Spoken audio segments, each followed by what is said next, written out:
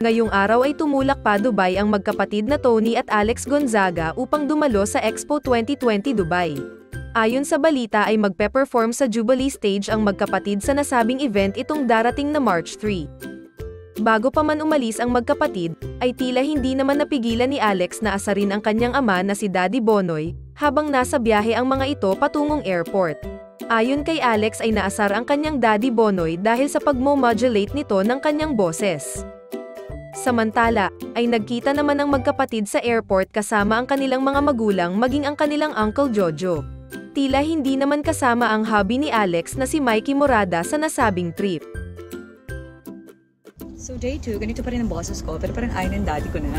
Ba't ayaw mo na? Sabihin mo, arte ko. Sabihin mo, Eh, yan ang sabi ng doktor eh. Ba't ba nakikialam mo? nagagalit siya, sabi niya ang arte ko daw. Ano sabi mo, Kailangan modulate pero talaga para wala yung malat mo. Sabi niya, mag-modulate ka pero huwag ka na maging maarte. Pero talagang kung nagiging kusa siya, dad, what can I do? Hindi, pag nag-modulate ka talaga. Ay naku ako, wala naman ako masabi sa... Parang may mga business meeting na gagawin sa Dubai. Oh.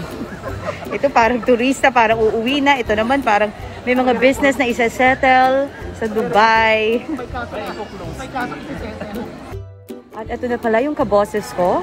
Kamusta ka na, Tony G? Kamusta na ang iyong mga bosses? Magsalita ka na kapareho ko.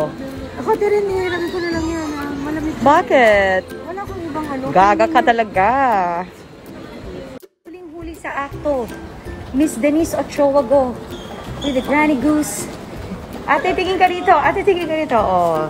Denise go.